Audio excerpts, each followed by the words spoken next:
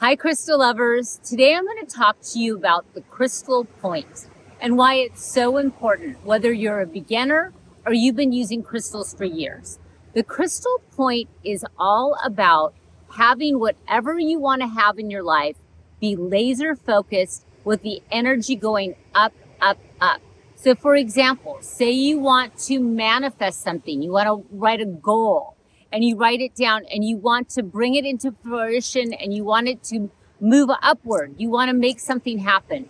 You would put this on top of something that's a goal or a wish or something you want to manifest. But today I want to talk to you about a technique that is called the zipper. And I always do this with crystal points. I've never talked about it before, but I want to talk about it today because you can use a crystal point to open up your energy field so your energy field goes up, up, up, and expands. So each crystal point holds a different energy.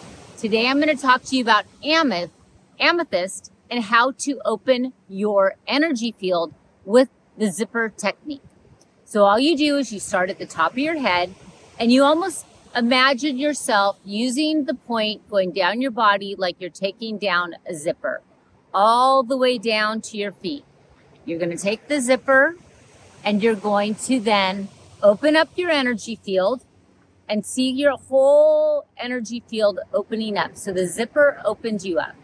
Then what I will do is I take the amethyst, I put it over my third eye, and I say out loud what I want to manifest. I am connected to my intuition. You say it three times. I'm connected to my intuition. I'm connected to my intuition.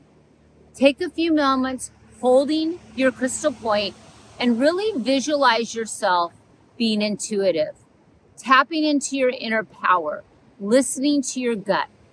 Visualize yourself in this energy field. And when you feel that you have this energy that is so empowered with what you want to do with your intuition, you imagine it sealing around you, and then you take and you zipper up the energy, back up your body. Bam. And now you have that in a sealant within your energy body close. The zipper technique is very powerful and you could use it with a whole bunch of different crystal points. So these are seven crystals that you can use with the zipper crystal technique. Amethyst helps you to connect with your intuition.